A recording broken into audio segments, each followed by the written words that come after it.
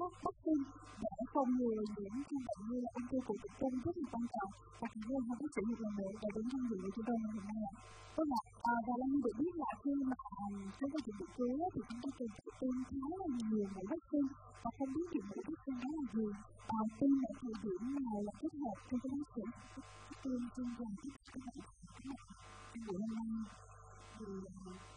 chúng tôi hướng dẫn đi lên thì chúng ta rất nhiều thứ để là có một cái việc là hôm nay trong ngày thật là đơn giản để nhưng mà theo các bạn hết cái hôn thì mình có những cái con để những cái con trẻ bệnh thì mình sẽ khẳng định rất nhiều một số bệnh cho bản thân mình và những bệnh thì cũng như thay kỳ bệnh để em bé sinh ra khỏe mạnh nói về những cái bệnh thì nói về cái nhiều để không bị trước khi kết hôn thì chúng ta thấy rằng người trẻ thì có sức đề kháng rất là và thì cao nhưng mà ngay khi các bạn kết hôn thì cái sức đề kháng nó sẽ giảm đi. Và cái đó là cái cơ hội cho tất cả các virus nó có thể tấn công chúng ta trong cái bệnh thai kỳ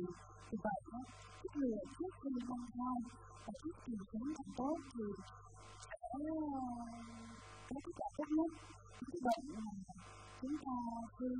không mang thai chúng ta mắc cũng có thể dễ dàng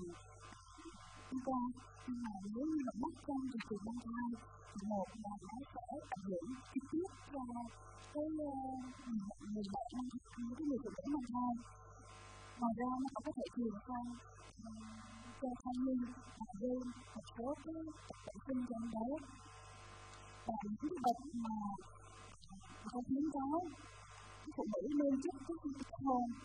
và trước khi mang thai thứ nhất là bệnh phổi gây được rubella vì nước thứ hai là bệnh thủy đậu thứ ba là bệnh cúm, và một số trường hợp thì mình có thể thích thêm bạn hữu đó là bổ sung để mà có kháng thể truyền cho cho em bé khi mà em bé chưa có tới tuổi được chích ngừa trong cái tình hình dịch bệnh. Một cái bệnh mà rất là mọi người rất là quan tâm và tất cả các bạn trẻ mình phải rất sớm là phòng ngừa ung thư tử cung. Vaccine người ung thư thì rất là ít trên thế giới trên thế giới. Người ta mới công nhận là có hai vaccine ngừa ung thư thứ nhất là vaccine viêm gan B và việc phòng ngừa ung thư gan thứ hai là vaccine HPV là vaccine ngừa ung thư tử cung. Thì vaccine viêm gan B trước đây đã rất là lâu rồi, mấy chục năm trước. Khi triển khai thì bây giờ,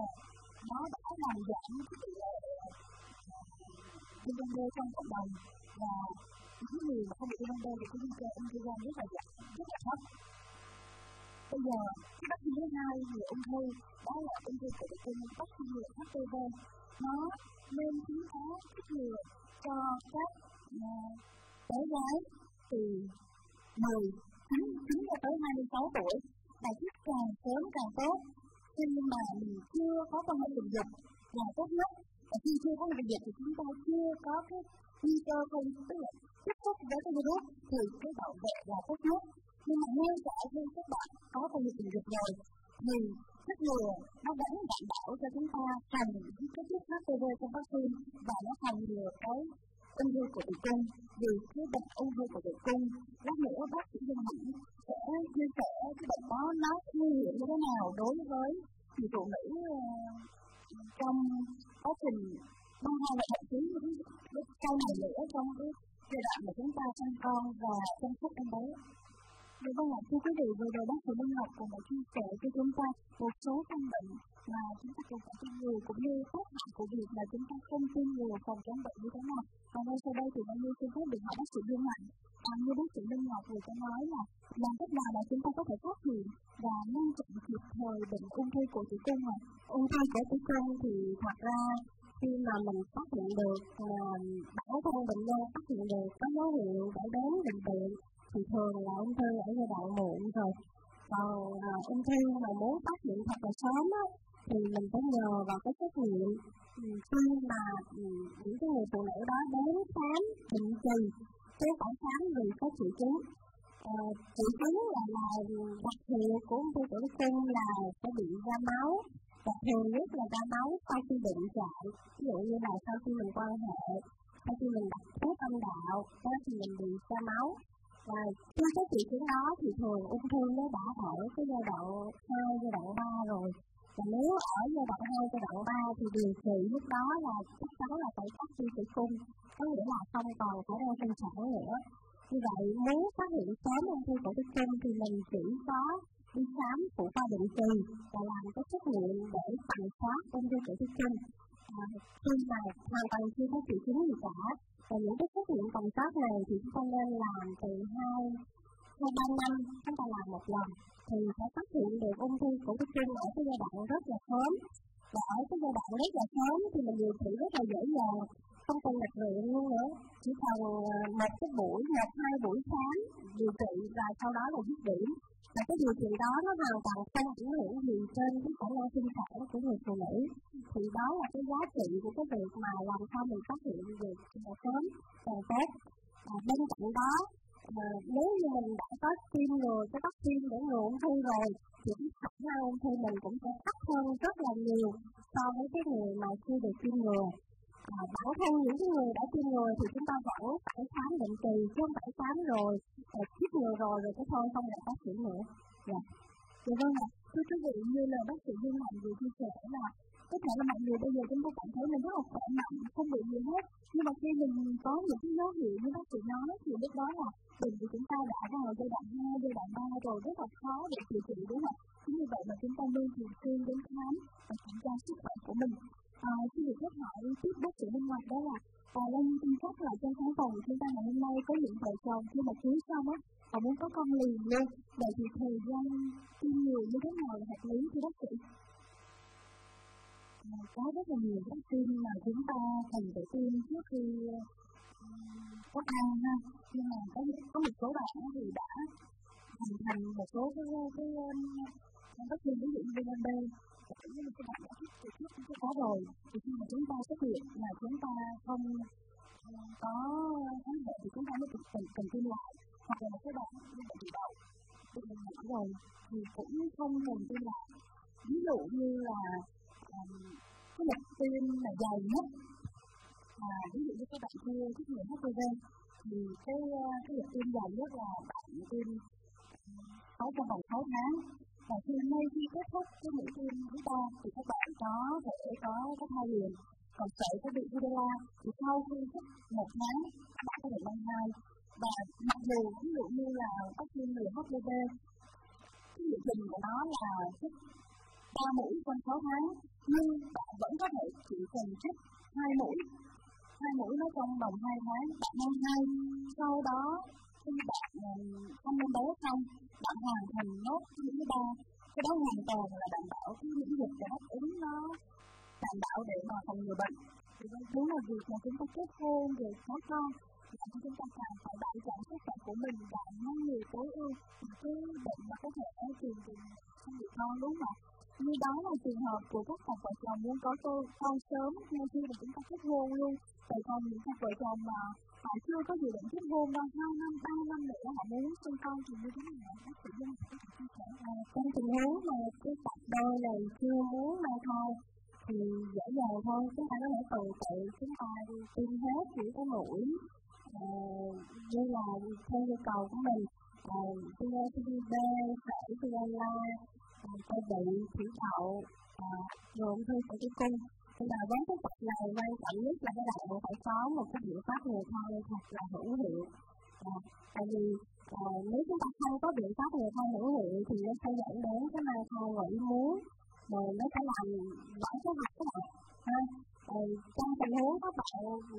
mong muốn tức là vẫn muốn giữ đứa con thì cái kế hoạch mình nó sẽ lung tung hết và nó sẽ rất là khó khăn trong cái trong cái cuộc sống của mình. Còn trong tình huống mà mình không muốn giữ thai thì thật ra ờ, về y tế chúng ta không tin là đi bỏ thai.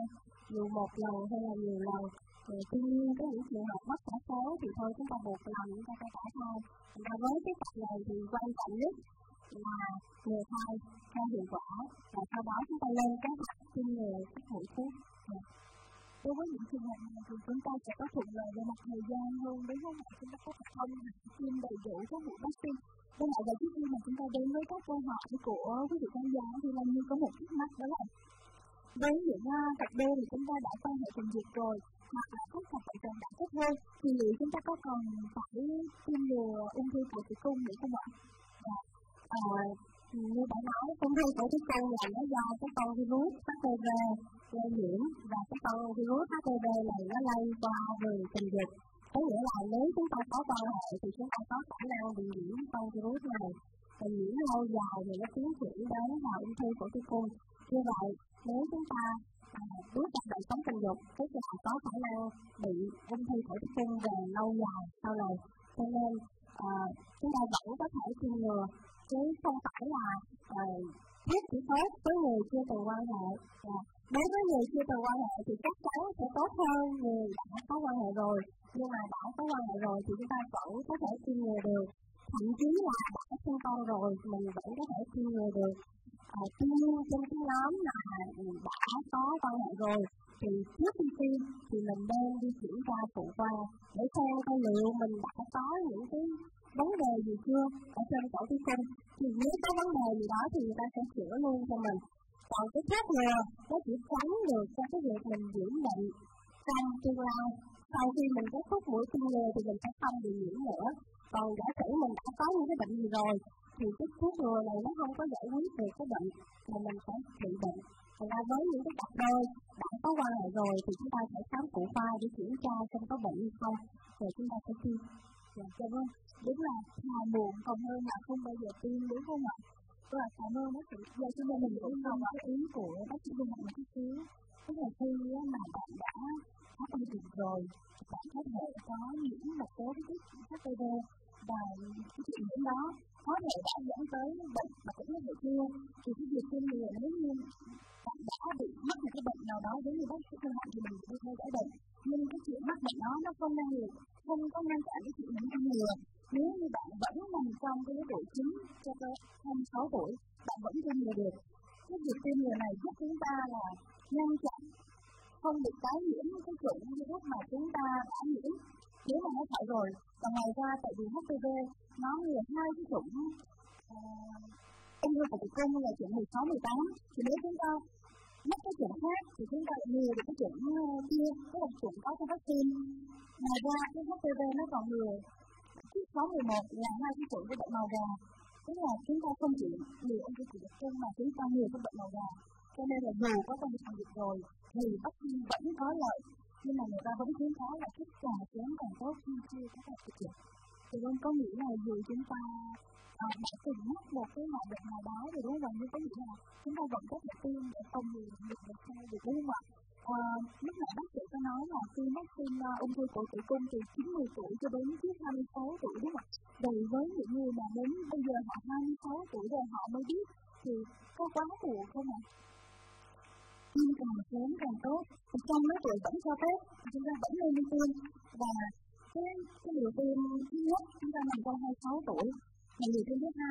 qua 27 tuổi,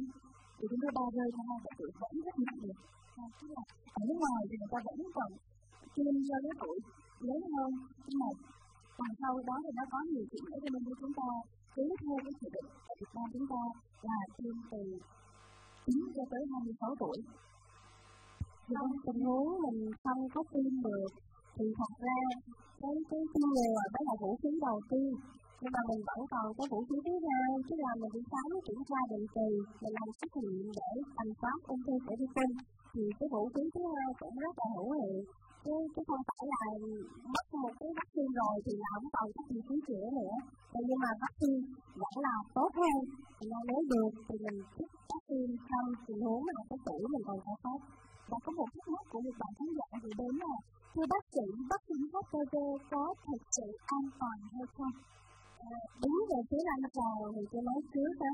Thì uh, vaccine HPV cho tới bây giờ thực sự là một vaccine an toàn. À, hoàn toàn không có gây ra những cái à, sự cố nghiêm trọng. À, các bạn có thể có những giai đoạn các bạn nghe báo đăng một cái trường hợp nào có vấn đề gì đó thì thường thường trước những tình huống đó chúng tôi vẫn đi tìm hiểu để xem cho cái biến cố đó là cái gì. Thì thực sự đó là những cái biến cố um, ta gọi là đi kèm đó giống như là tai nạn đi kèm khi các bạn tiêm một cái mũi thuốc sau đó Ờ, các bạn lỡ các bạn đi ra đường các bạn bị xe quẹt thì đó là một cái tai nạn đi kèm thì thường thường những cái được báo cáo đa số nói là tai nạn đi kèm chứ không phải là tác dụng phụ thực sự mà nghiêm trọng. Tác dụng phụ của vaccine nó chỉ là sốt là nóng là viêm đỏ của cái vùng cái vùng tim thì đó là những cái mà trên lâm sàng thực tế chúng tôi thấy À, tại bệnh viện Hùng Vương thì chúng tôi đã tiêm ngay từ lúc mà có vaccine về Việt Nam, tức là khoảng 2007, 2008 là chúng tôi đã có rồi. Và hoàn toàn không có những cái tình huống nghiêm trọng gì cả. À, còn trên y văn trên thế giới thì người ta cũng đã thống kê rồi những cái tình huống mà nghiêm trọng xảy ra thực sự nó là những cái tai nạn kèm chứ không phải là tác dụng phụ mà nghiêm trọng của thuốc. Vâng, Nếu thì bên ngoài mình bổ sung thêm cái tính của vaccine mạnh hơn tức là vaccine HPV được sử dụng an toàn. Vì vaccine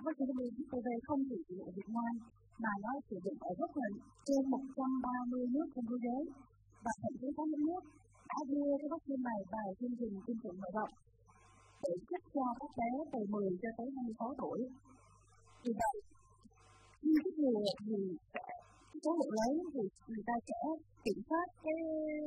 cái tính an toàn của vaccine. Bất cứ tác dụng phụ hoặc là tác dụng ngoại ý của vaccine thì đều được ghi nhận. Và ta thấy rằng đó là vaccine hiện tại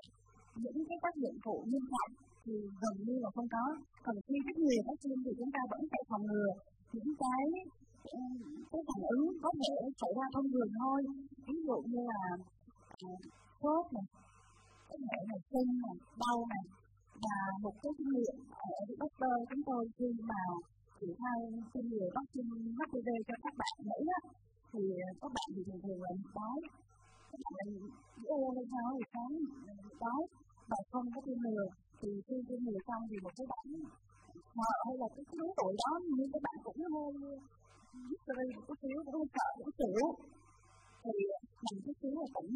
thì chúng tôi cũng có kinh nghiệm là khuyên các bạn là khi khi liều cũng an và